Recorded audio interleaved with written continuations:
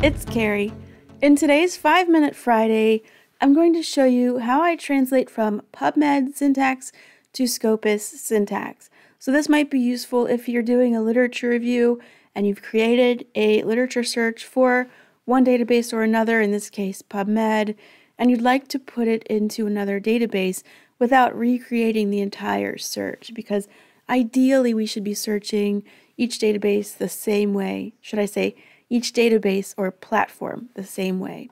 So here I've created a search in PubMed with MeSH terms and keywords for baclofen, and then MeSH terms and keywords for dystonia, dystonic disorders, and spasticity. So I've already created it, I've seen that it runs in PubMed, I've checked it for errors, and it should be okay to translate. I'm going to copy it and paste it. Now you'll notice that I'm working in a Word document. I prefer working in a Word document and I am normally a text block searcher so I like all my terms grouped together so that it's easy for me to run and test and rerun quickly. Now I need to format this for Scopus. I'm going to select the whole search and go up to find and replace.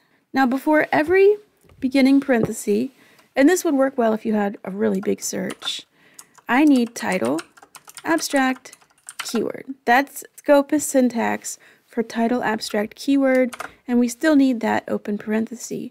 So let's replace all, and then just check it to make sure it works. There they are, title, abstract, keyword. We're going to replace our field tags, quote, TW or, quote, with closed curly bracket or open curly bracket.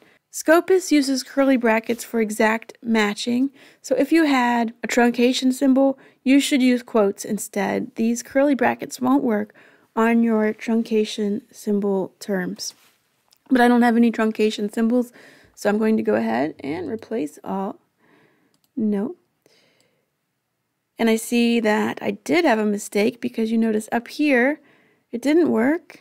So I'll just do it manually closed curly bracket or open curly bracket and you'll see that it didn't work at the end of my concept. So let me highlight it again.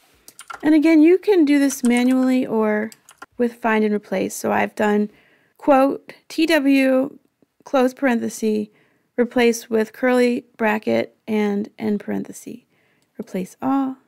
So I've taken care of those two ends of each concept. And the last thing I have to do is MeSH. So PubMed has medical subject headings. There's no controlled vocabulary in Scopus, so we will just replace them. Uh, I can get rid of these all because my words are represented in my keywords.